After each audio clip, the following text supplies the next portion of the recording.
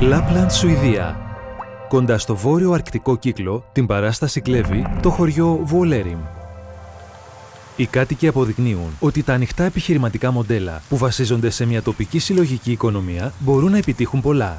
Μεταξύ της δεκαετίας του 1950 και 1970 δημιουργήθηκαν πολλές υδροηλεκτρικές εγκαταστάσεις στην περιοχή του Βουολέριμ.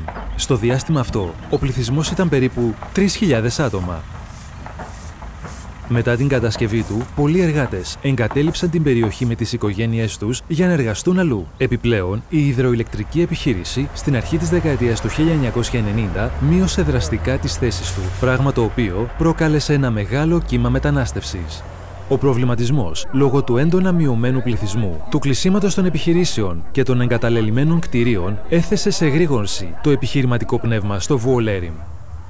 Αρχικά έγινε μια συγχώνευση μιας ομάδας περισσότερων των 100 κατοίκων του χωριού για να σώσουν την κατασκευαστική αγορά. Αυτό το εταιρικό μοντέλο με τους πολλούς ιδιοκτήτες κατέστη το πρότυπο για πολλές άλλες εταιρείες στην κατοχή του χωριού. Το 2006, 140 κάτοικοι του χωριού άνοιξαν και πάλι το ξενοδοχείο που είχε κλείσει. Με εθελοντική συνεισφορά το ανακαίνισαν και το μετέτρεψαν σε ένα ζωντανό ξενοδοχείο με τοπικό χρώμα.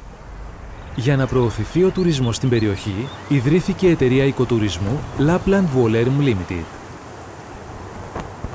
Η επιχείρηση εμπορεύεται πακέτα δραστηριοτήτων όπως go-karting, περιηγήσεις στο βόρειο Σέλας, κατασκευή φαναριών από πάγο και δείπνο τύπου House Jumping Dinner. Έτσι οι επισκέπτες μπορούν, συμπεριλαμβάνοντας τις πηγές 50 τοπικών συνειδιοκτητών, να πάρουν μια γεύση από τη ζωή κοντά στον αρκτικό κύκλο. Ωστόσο, δεν είναι μόνο η μεγάλη ποικιλία εμπειριών οι οποίες χαρακτηρίζουν την επιχείρηση. Είναι και η διάρθρωση εξόδων και εσόδων. Το 100% των κερδών επιστρέφουν στην ανάπτυξη και επενδύονται στην τοπική οικονομία.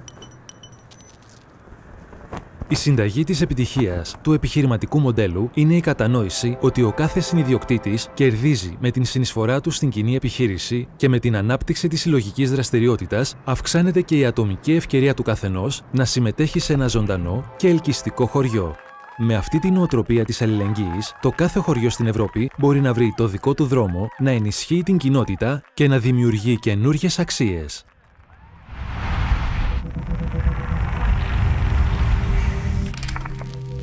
Thank you.